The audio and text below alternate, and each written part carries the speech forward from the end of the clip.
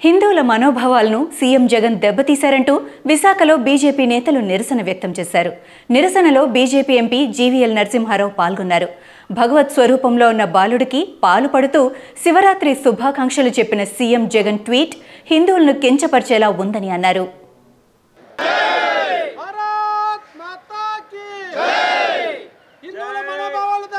జగన్మోహన్ రెడ్డి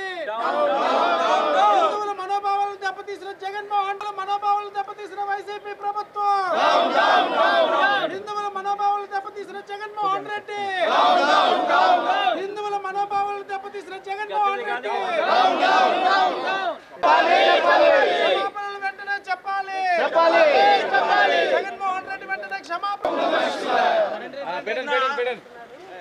పాయ నిన్న మహాశివరాత్రిని పురస్కరించుకొని ప్రపంచవ్యాప్తంగా హిందువులందరూ ఎంతో భక్తి శ్రద్ధలతో ఆ పరమశివుణ్ణి పూజిస్తే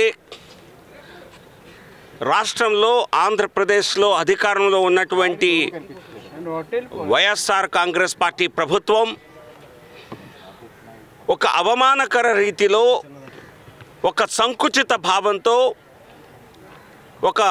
పోస్టర్ని ట్విట్టర్ మాధ్యమంలో ఇవ్వటం జరిగింది రిలీజ్ చేయటం జరిగింది. ఆ ట్విట్టర్లో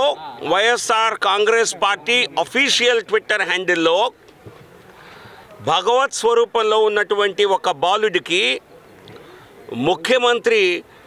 జగన్మోహన్ రెడ్డి ఏదో పాలు తాగిస్తున్నట్టుగా జగన్మోహన్ రెడ్డి ఏదో పాలు తాగిస్తున్నట్టుగా ఆయన ఆకలి తీర్చే గొప్ప మహానుభావుడిలాగా ఈయన పూజిస్తూ హిందువుల మనోభావాలని అదే భక్ భగవంతుణ్ణి మరి దయనీయ స్థితిలో చూపిస్తూ తానేదో వరాలు పంచే వ్యక్తిలాగా తన